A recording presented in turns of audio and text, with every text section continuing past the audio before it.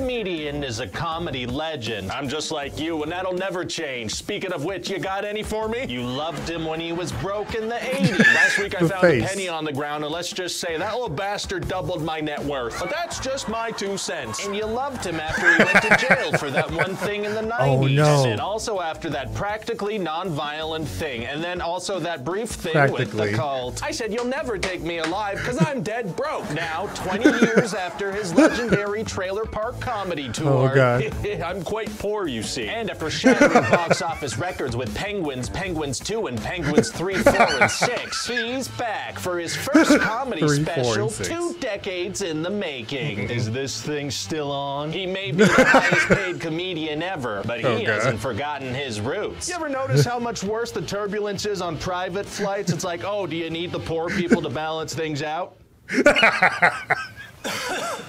Gross. With that relatable brand of comedy you know and love. Completely I tell you, it's hard to find a good personal chef these days. Am I right? completely changed. Wasn't this happening with like was it Kevin Hart or Chris Rock? I think it was a Chris, the Chris Rock one on Netflix.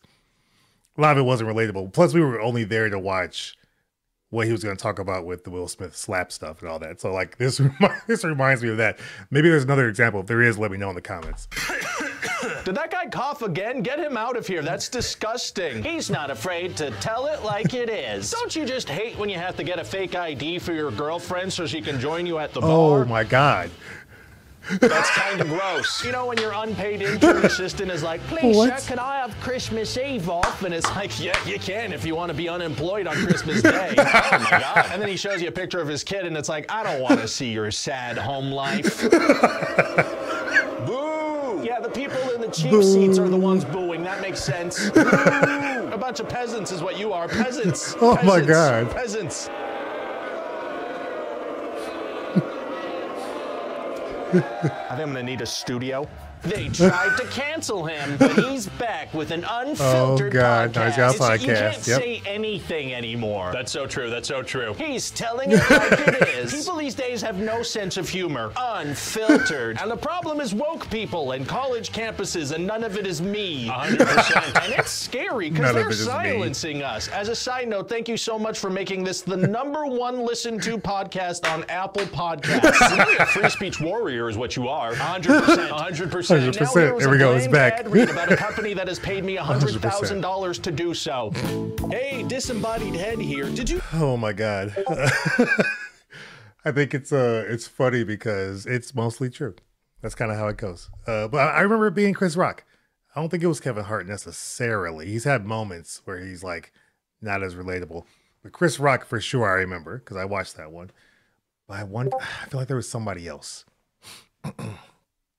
yeah, that's my Discord just going off right now. Uh, because they're in there. We're we're we're we're, chatting. Um, but if there were others, comments, let me know who else has run into this outside of the ones that have done like crazy stuff, you know, illegal things, the things where they did get canceled. They do try to make a comeback. Anybody remember uh, Dane Cook? I feel like he was more hated on than like something bad he did, from what I remember. I loved watching him and listening to his stuff when I was in college. Uh, but then he disappeared, and he's been back. He's done a couple of like self-paid for or self-funded specials, uh, but uh, he he just disappeared after doing some really bad movies and then some really funny stand-up moments. Then he was just gone. But he's kind of back now, but not really. Like no one's really like pining to go watch Dane Cook. But I remember. But let me know your thoughts in the comments below. Other ones that maybe I'm not thinking of where this is relevant. Still very funny though. Uh, but and of course, if this doesn't work out, they just do a podcast, which is what most people do do nowadays. Uh, so that's kind of the way the way of the world. Your thoughts in the comments below. Check out the description for more information on the equipment I use if you're interested. And as always, thanks for watching. Glad we could laugh on some stuff here, and I'll see you on the next video. Take care.